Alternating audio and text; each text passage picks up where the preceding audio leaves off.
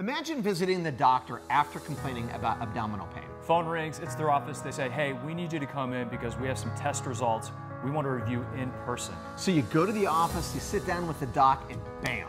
He tells you that you have pancreatic cancer.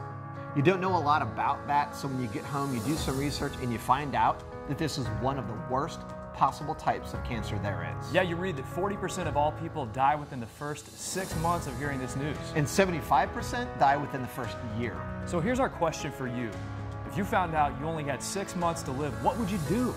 It's a question too many people with pancreatic cancer have to ask. So tell us in the comments section, what are the four things you would do if you found out you had a limited time left? Would you spend more time with your family? How about running with the bulls? Maybe parachute out of an airplane. Take that trip to Paris?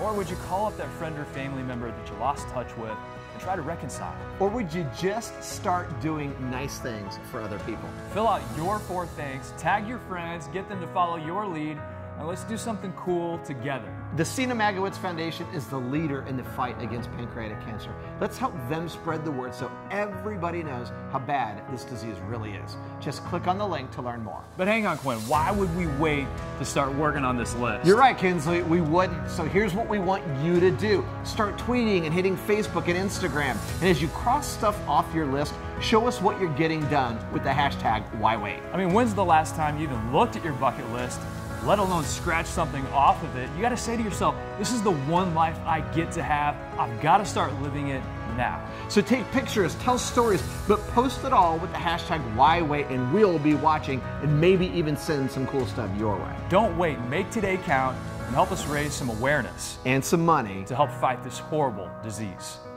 Why wait?